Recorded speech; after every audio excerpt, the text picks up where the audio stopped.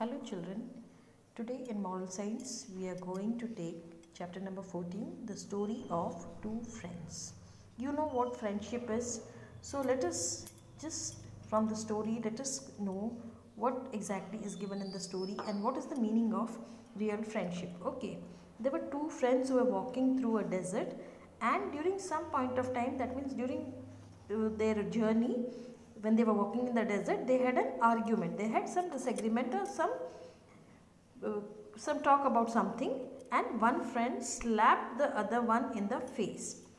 The one who got slapped was hurt but without saying anything wrote in the sand.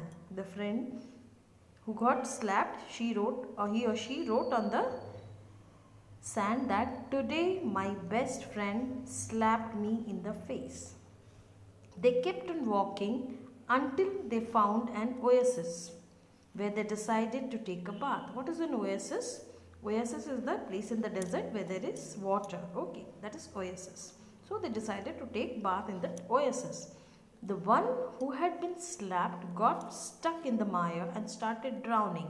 Mire means you must have seen the circling water where she was getting drowned. Okay, she was drowning. Okay. But the friend saved him. After the friend recovered from the near drowning, he wrote on a stone.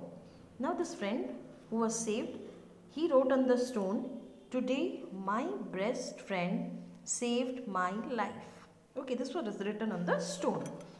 The friend who had slapped and saved his best friend asked him, After I hurt you, you wrote on the sand and now you write on a stone. Why? The same friend, she is asking that when I hurt you, you wrote on the sand. But when I, uh, when I saved you, you wrote on the stone. Why? The other friend replied, when someone hurts us, when someone does harm, any harm to us, we should write it down in sand where winds of forgiveness can erase it away. Winds of forgiveness means we should forgive that person even if they have hurt us. But when someone does something good for us, we must engrave it in the stone where no wind can ever erase it. That means if someone does something good for you or helps you in any way, you should never forget. You should feel gratitude towards that friend. You should not forget that. You should always remember that. Okay, so that it doesn't get erased from your heart.